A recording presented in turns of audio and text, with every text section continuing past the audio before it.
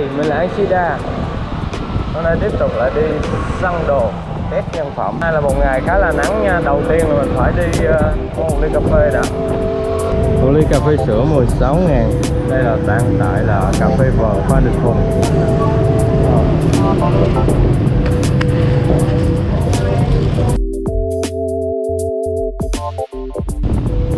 dành cho những bạn chưa biết chợ Hoàng Hoa Thám nha đường Cộng Hòa nó đi từ trung tâm về chúng ta sẽ quẹo trái vào đường Hoàng Hóa Thám hay cầu vượt Hoàng Hóa Thám.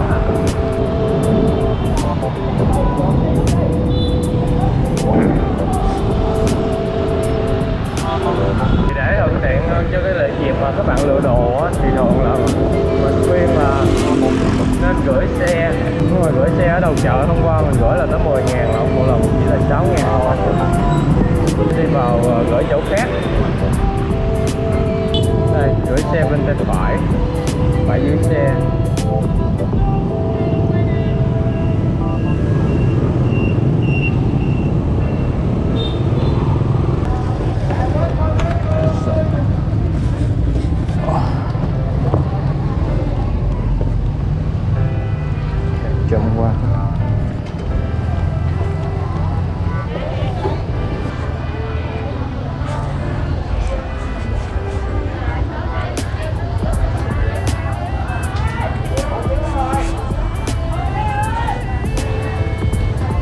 you.